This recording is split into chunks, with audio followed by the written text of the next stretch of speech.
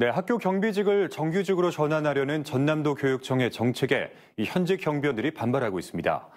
정규직 전환이 되면 정년이 65세로 정해지는데 현재 일하는 경비원 대부분이 정년을 넘기게 돼 일자리를 잃게 되기 때문입니다. 박성호 기자의 보도입니다.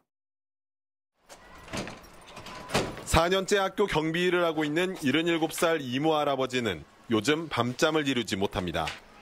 학교 경비원이 정규직 전환 대상이 되면서 오히려 학교에서 쫓겨날 처지가 됐기 때문입니다. 65살을 정년으로 하는 정규직 전환 계획이 현실화되면 이 할아버지는 1년여 뒤 퇴직해야 합니다.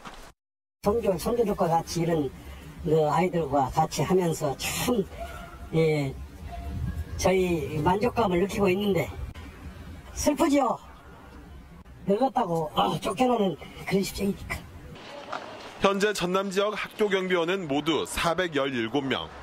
71%인 297명이 65세 이상입니다.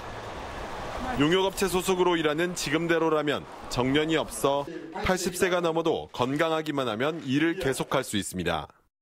나이 드신 분들도 일자리가 있어야 될것 아닙니까?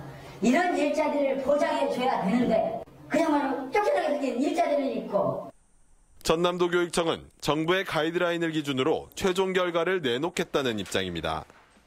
현재 근로자가 어, 떻게 하면 어, 정년을 초과하더라도 연장할 수 있는 방안도 다 같이 논의할 계획입니다.